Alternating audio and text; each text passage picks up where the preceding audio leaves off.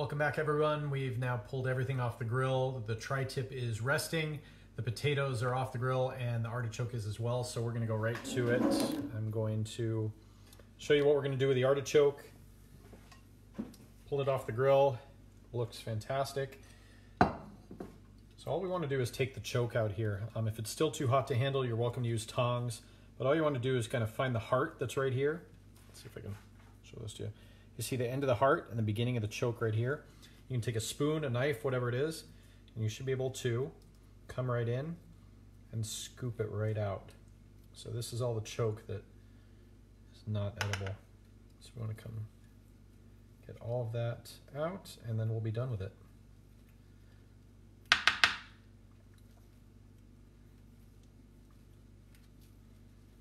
gonna try not to go too far where we're taking the leaves out too. That's why I like using a spoon instead of a knife. We did lose a few of the baby leaves, but that's okay. So that way, when you're done with all the leaves, you can actually eat the artichoke heart that's sitting right here with all the choke removed. If you try and do this before it's cooked, it is really difficult. Once it's cooked, it just goes through like butter. It's so easy.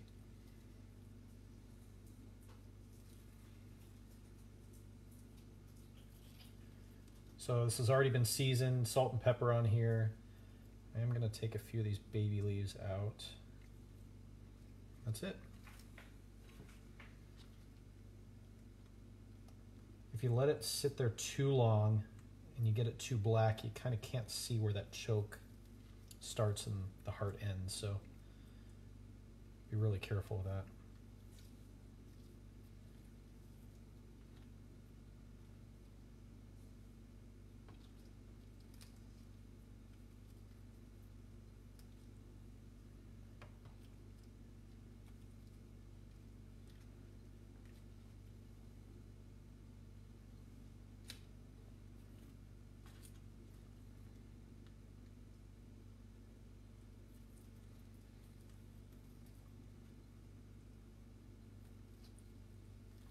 The other thing I have right here is a little bit of mayonnaise. We're gonna make a dipping sauce using mayonnaise, a little extra lemon juice. Mayonnaise already has uh, acid in it, but we're gonna make it just a little bit more acidic.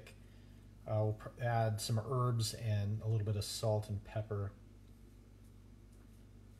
So I'm getting this choke out and we'll almost be done here.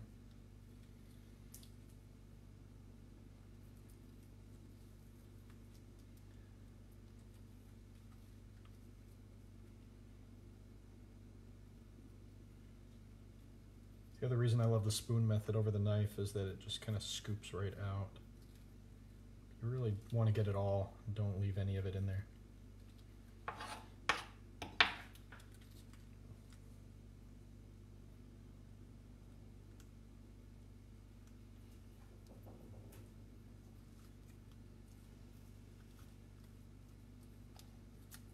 Number five.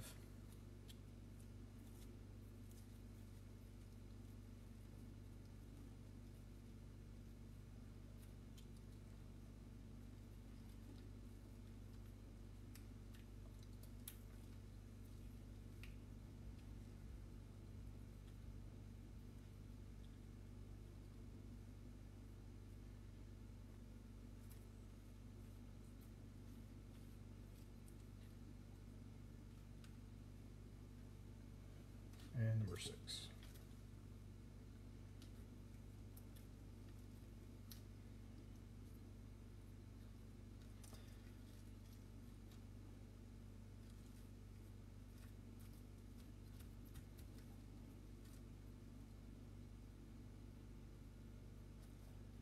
I know sometimes artichokes look super daunting, but they're really not very hard to make, and especially when you can use a trick like this and remove the the one difficult part in one step like this. It's makes it kind of an easy everyday treat you can do. All right, so there's six. I'm gonna put them back in the bowl and out of the way. I'm going to remove this cutting board and we'll slice the meat and we'll be ready to go after I do the sauce. So move this cutting board and bat be right back.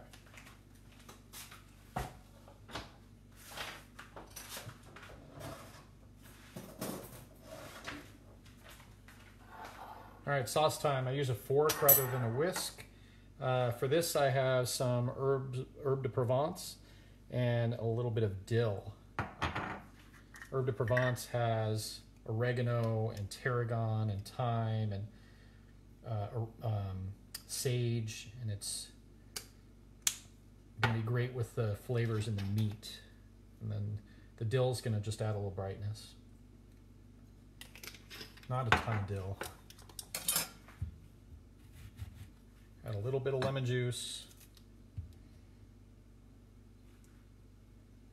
For this, rather than using kosher salt, I'm going to use sea salt because it'll, the finer uh, grain will mix together a little bit better. And then some black pepper.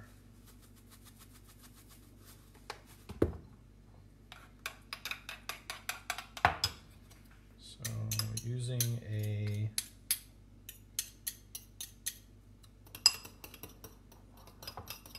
fork actually helps it blend a little bit better. I'm gonna add a little more of the herbs. And some more pepper. So notice I didn't do it all in one bunch. I wanted to split it up a little bit so that it doesn't clump together.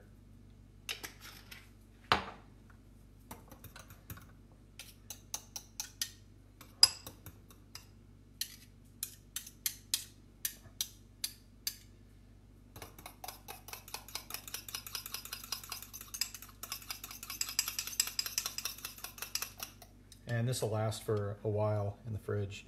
Looks a little bit like ranch dressing, but tastes much different. It's great. It's acidic. Yeah, add a little bit of salt. Maybe a little bit more lemon juice. Uh, it's acidic, but it's not over the top, and it's going to be a good combination with this artichoke. That'll set off to the side, and we'll get our meat cutting board, and we'll finish up and plate.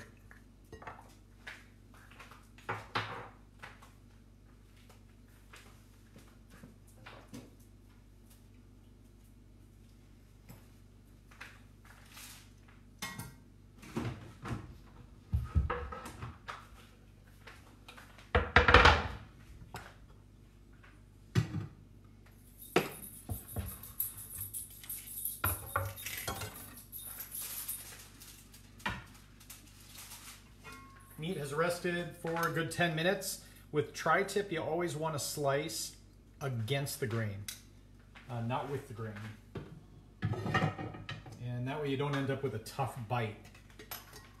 So what we're looking for here, make sure I move this out of the way, so you can actually see the grain coming down the side of the tri-tip here, and then over on this side it's going this way, so it changes. But I'm definitely going to slice this way, and I may do it at a bias, but you can see all the grain running this way. So as I slice,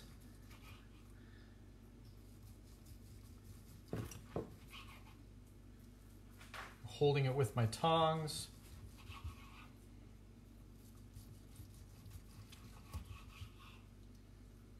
and, and this is looks pretty good. It smells incredible. So even though the garlic didn't cook in there, it sat in that marinade for long enough that it imparted quite a bit of flavor. The other thing you'll notice is it's juicy, but a lot of the juices are trapped inside. Some of it will run down here on the board, but it's not an overwhelming amount. And that was why letting it rest was so important because uh, kind of helps them, everything relax and keeps the meat from drying out too much. Buddy, our little dog, is going absolutely bananas right now, hoping that I drop something.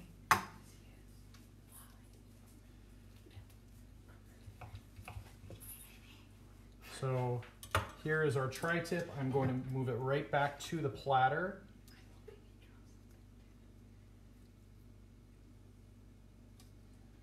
Sorry, buddy, I'm not dropping anything yet. I may save a little bit for him later, though.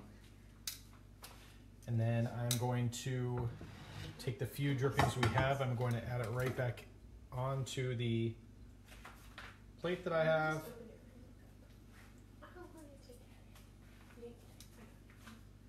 And here we go.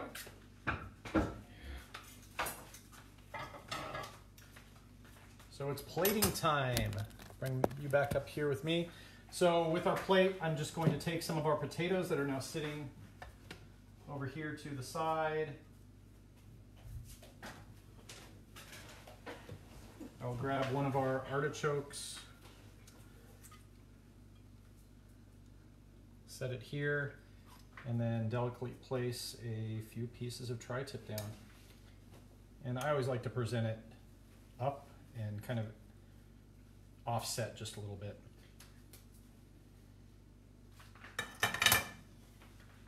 So there we have it. Feel free to serve it with horseradish. We have our sauce that's going to go with the artichoke and uh, enjoy.